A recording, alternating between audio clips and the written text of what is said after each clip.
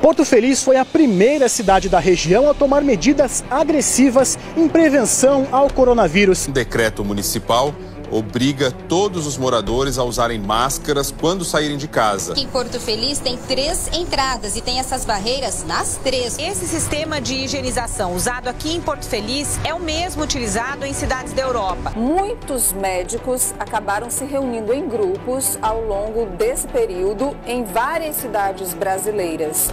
E um desses médicos é prefeito da cidade de Porto Feliz. Porto Feliz adotou um protocolo de tratamento contra a Covid-19 que tem dado resultados. A medicação já passou a ser comprada antes mesmo dos casos confirmados em Porto Feliz. E outros exemplos como esse, como Porto Feliz e outras cidades do nosso país, estão fazendo exatamente a mesma coisa com esse com excelente resultado. As pessoas que recebem o tratamento são monitoradas por uma equipe de saúde até a alta médica. Pacientes que já trataram, que já passaram pela fase crítica da doença, se recuperaram e já estão em casa terminando a quarentena ou até que já receberam alta do isolamento. Tive alguns sintomas suspeitos, né? E cheguei no posto de saúde, fiz vários exames e aí comecei a tratar. E me sinto curada hoje. Quero agradecer a todos os médicos, com sua equipe, todos os agentes da saúde que foram muito eficientes comigo, me monitorando até o final do meu tratamento.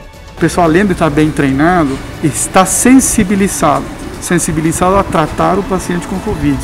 Né? E isso faz muita diferença. A Prefeitura reforça a importância da população procurar as unidades de saúde específicas para casos da Covid-19 logo nos primeiros sintomas, como febre, tosse, dores no corpo ou perda do olfato. Para mim fez efeito. Estou bem de saúde, graças a Deus. E eu deixo o agradecimento aí por, pela vigilância, pela, pelos enfermeiros, pelas médicas, pela Santa Casa também, por isso, se você tiver com suspeita, se cuida. Quanto mais cedo você se cuidar, mais chance de salvar a sua vida.